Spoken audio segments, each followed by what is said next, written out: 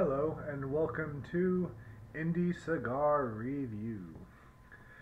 Today we are reviewing the Rocky Patel 15th anniversary in torpedo size. This cigar was rated number 6 by CigarAficionado.com.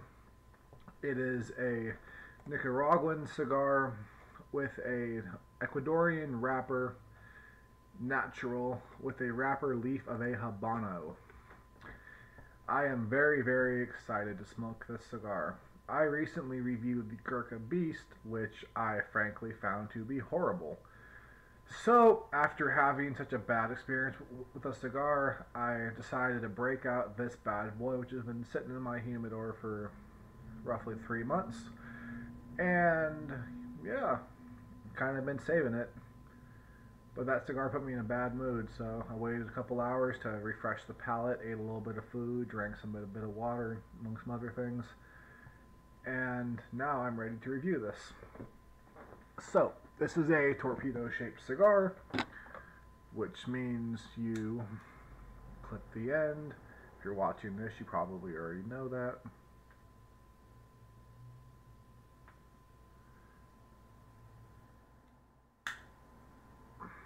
as tobacco goes flying across the room.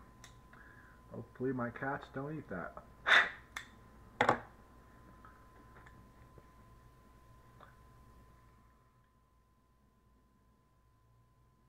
Very, very good pepper, semi-sweet smell. It actually makes my nose tingle a little bit. So, um, if that's any indication, it'd be a pretty strong cigar. As you can see, it's very nice.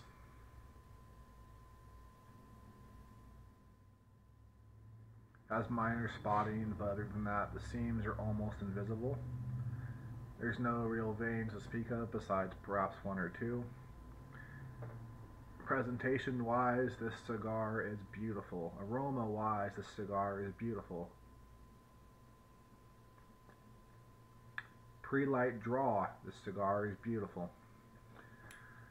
Let's see if the flavor, smoke production, strength, and everything else we review here lives up to that so far beautiful potential.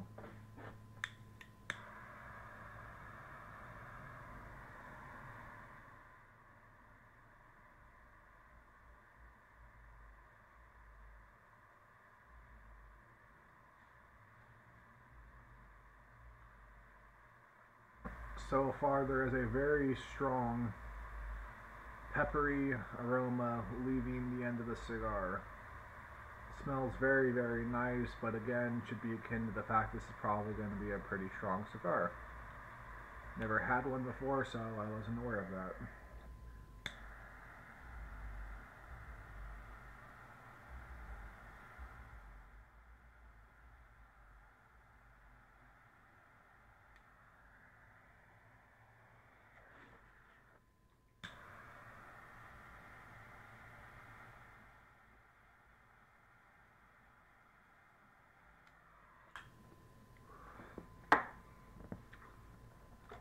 Wow. The Habano leaf gives a minor peppery tinge to the tongue for the Habano wrapper. Eh, the draw is a little bit snug, but with torpedoes you can always just clip a little more off if I so choose. Bothers me, I will. Very strong pepper in the front of the palate. Very nice smoke aroma coming off is very, very nice. Overall, really good cigar. I sincerely hope it keeps up this, performance because I don't want another Gurkha Beast. That cigar almost made me not want to smoke again today. It just put me in a bad mood. And for me, cigars are an experience, and it's best when they're a positive experience. That cigar wasn't. This cigar so far already absolutely is.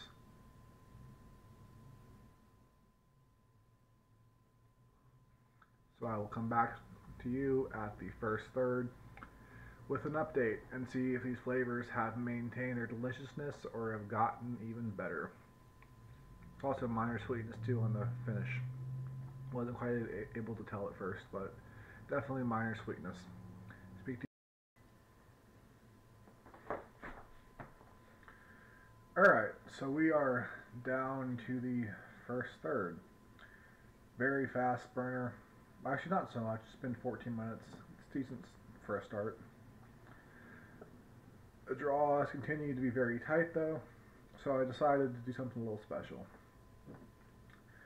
I am going to break out my limited edition black and gold lacquer Rocky Patel cutter, which is a beautiful cutter.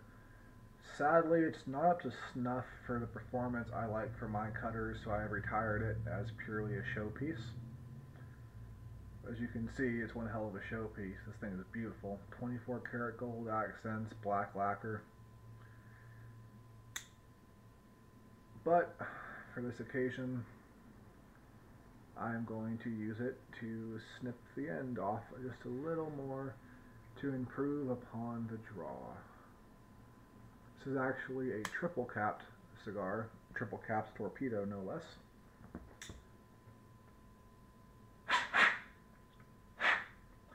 Have smoked a few triple cap cigars, not many though. Triple cap torpedoes is a first.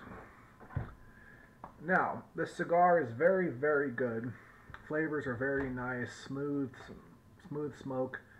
Smoke production is a little lacking, but this last snip should certainly help with that. Took some time to do a little bit of research, and it seems the filler of this cigar is actually purely made for one cigar, which is this one cigar, Rocky Patel 15th anniversary. I watched an interview as well as read a few articles about it, and it's supposed to have a very spicy, pronounced, almost peppery flavor to it, and it truly does. It has a taste of a very finely ground black pepper. Picture a steak. Now, a steak's good on its own, but if you add a little bit of that nice, finely ground, high quality pepper to it, it accents the flavors in such a way to where it becomes much more enjoyable.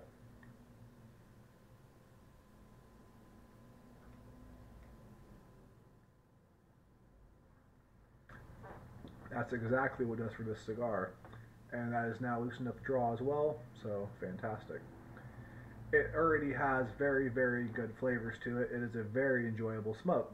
However, you get that pepper taste on the palate, that nice little spice to it, and it just, it sets it over the top. I absolutely love this cigar. So far, I highly recommend it. They are only $10 a piece or $200 for a very ornate dark wood with metal accented box. Very, very pretty. So, for $10 a stick for something this good, I do not recommend you pass it up. Stop making excuses. Go down to your local tobacconist, brick and mortar shop, online retailer, and purchase one. Now, I'm still going to smoke this down to the very nub. Keep in mind this has only just been started. But from these flavors so far alone, I cannot recommend this highly enough. So, I will come back to you at the halfway point, once slightly beyond the band, and once more at the nub. Now, the nub for torpedoes is always very nasty, to put it mildly. This could be different, but I doubt it will be. But either way, for purposes of the review, I will smoke it down to the absolute nub. But until that point, I am looking forward to smoking this beautiful cigar. Thank you for your time, and I will see you shortly.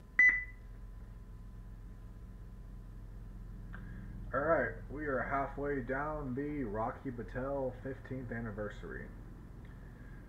The burn is not razor sharp, but is not in any real need of touch-ups either. Flavors have maintained that same peppery, smooth tobacco, minor sweetness, a bunch of different varieties to them actually. There's a few flavors I can't quite pinpoint. I know there's definitely nothing I've normally encountered before, but it's very pleasant, whatever it is. As I had said, the cigar is akin to a fine steak. The steak is good by itself, which represents the cigar, and that nice peppery spice to it, that nice finish, just adds to it so, so well. I will come back to you a little bit beyond the band point and let you know how it has developed. This first band point, by the way. And then after that, down to the nub. So far, though, performance is fantastic.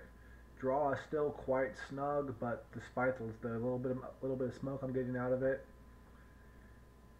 the flavor it's still just fantastic. The little bit of smoke doesn't matter. You still get a very full flavor out of it.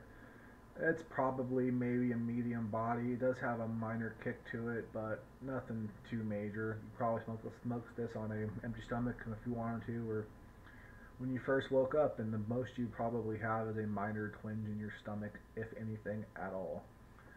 So not terribly strong, but that's fine with me. Flavors are fantastic. Come back with you shortly. Alright, very fast update. The burn has gone quite uneven. There's minor canoeing or, I don't know, a side burn like that, so to speak. I don't know what terminology is called for it. I call it canoeing, but it could be incorrect. Either way, pretty major. Um, I tried to puff a little faster, tried purging, doing other things to avoid a touch up, and just getting worse. So I will have to touch this up soon if it doesn't fix itself. But still, very minor complaint for an overall fantastic cigar, but it should still be noted. Alright, we are just past the band point. Just took off the band a little while ago. Flavors still roughly the same, no real transitions, but with the flavor as good as it is, I don't really don't want a transition. That nice peppery on the forefront of the palate, the smooth tobacco, semi-sweet finish to it. It's frankly close as I've actually tasted to perfection for a cigar. This is an amazing cigar. Um, the draw has loosened up a little bit after a relight because the draw became so tight that okay, it just went out, which is a problem to do with the construction.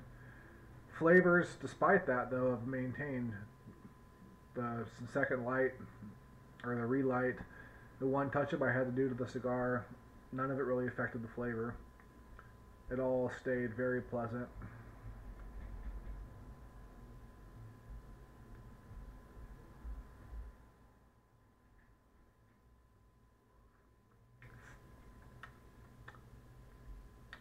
Only difference I could say is there is a sweetness at the front of the palate, which also combines with that really strong peppery. And then there's a pepper on the finish, and then a very nice sweet tobacco a little bit beyond that finish point.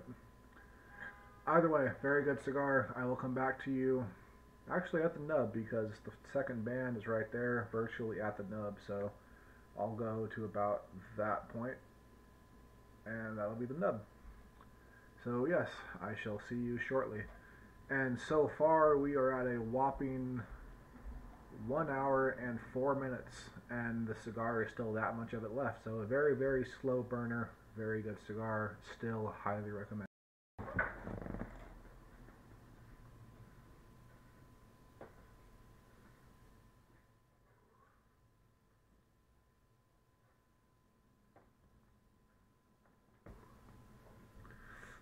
Alright, down to the actual nub of the Rocky Patel 15th anniversary.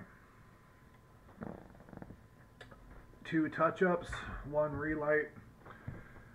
However, the overall fantastic flavor, I don't really have any complaints.